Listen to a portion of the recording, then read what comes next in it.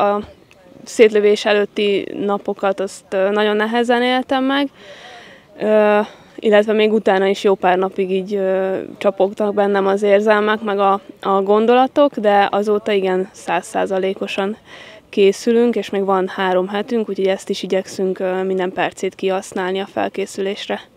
Előtte egy ilyen nagyon nagy izgulás, meg, meg ott az kicsi teherként értem meg, hogy, hogy akkor most tényleg ez az a pálya, ami, ami dönteni fog úgymond a sorsomról.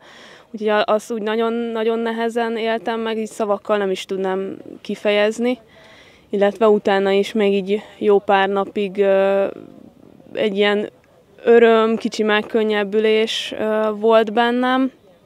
Ugye e, e, ezekkel tudnám így legjobban körülérni, nyilván pontosan ezt, ezt így megfogalmazni nagyon nehéz. Az, hogy itt a megszokott környezetünkben tudunk készülni, ez nyilván segít is benne.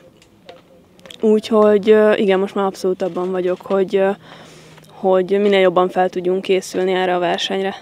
Nehéz, mert így elől azt érzem, hogy kicsit más az igény a párosban is, és a négyesben is, úgyhogy ez a, ez a három hét, ez, ez tényleg arról fog szólni, hogy, hogy ezeket a, a kis finomságokat minél jobban össze tudjuk hangolni, de, de tényleg lesz rá ö, három hetünk, az, az látszódik az edzéseken, hogy ö, egyre jobb formában vagyunk mind a négyen, úgyhogy ha ezeket a kis finomságokat meg tudjuk csinálni, akkor, ö, akkor szerintem nagyon jól elsülhet ez az egész.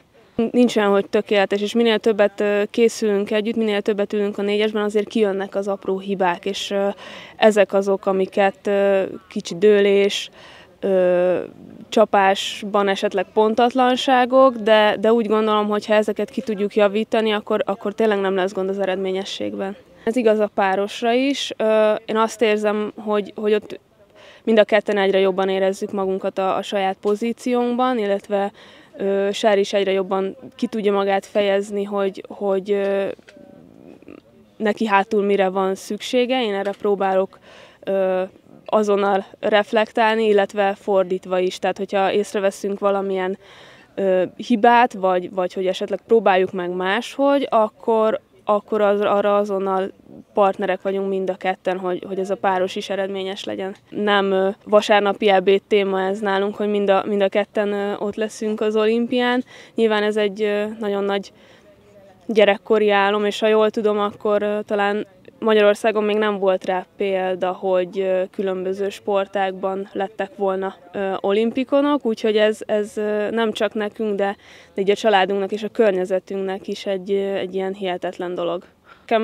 Van, van egy kép a fejem ben az olimpiáról, a Réka azt mondja, hogy, hogy ez most így biztos, hogy teljesen más lesz, hiszen a Tokiói olimpia egy Covid olimpia volt nézők nélkül, illetve a világ másik végén. Az, hogy ez európai olimpia, és mondjuk két óra utazásra van Magyarországtól, az, az biztos egy, egy másfajta élményt ad, majd nem csak nekünk, de, de már koráb, korábban az, a korábbi olimpikonoknak is.